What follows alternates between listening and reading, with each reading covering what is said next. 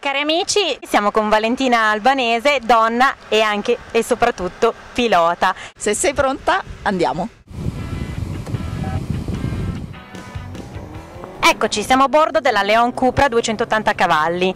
Com'è questa macchina, Valentina? Ah, guarda, da guidare è veramente sorprendente. Oltre ad avere un motore potentissimo, perché siamo nell'ordine dei 280 cavalli, il che per una stradale a trazione anteriore non è assolutamente poco, ha una stabilità e un assetto veramente, veramente importante. Quindi i, i limiti sono altissimi. Questo per strada conta relativamente e in pista te ne accorgi veramente. Una donna che ha corso e corre tanti campionati, ma com'è correre in pista con così tanti maschietti?